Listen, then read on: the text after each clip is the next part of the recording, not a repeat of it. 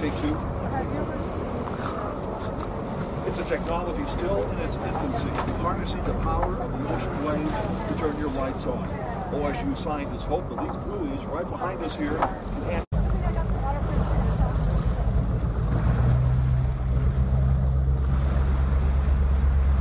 This research project is so important for Oregon because it gives us a sense of what wave energy devices will do in our wave climate. So the developers would like to eventually commercialize here, but before they get to that stage, they want to know how their devices will react to our ocean, how much energy they'll produce, and what's really important for us is to understand what kind of effect they'll have on the environment. For example, are they putting out a lot of noise that might interrupt the communications of marine mammals?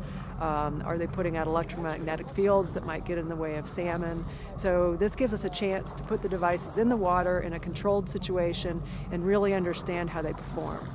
Yeah, so Oregon is unique with respect to wave energy in the United States in several ways. First of all, the West Coast has the best waves. Waves are produced by the winds, and so the, as the winds go from west to east over the oceans, the waves accumulate on the West Coast. So, great wave resource in order to get energy. Secondly, we've got wonderful transmission infrastructure that exists on our coast because of our, the history of industry on the coast. So that means nothing else needs to be done in order to accommodate, accommodate this new energy source. That also means that the, the energy production in Oregon can be sort of evened out west to east. Another thing that we have going for us is the great manufacturing companies who are already here. Um, Oregon Ironworks was involved in manufacturing this particular device, and they're but one of the many com companies we've got around. And then lastly, well, not lastly, but importantly, Oregon State University is the home of the Northwest National Marine Renewable Energy Center, and we're a leader in wave energy research. So we're here to provide the, the neutral voice of science and engineering, telling the communities what these devices do when they're in our waters.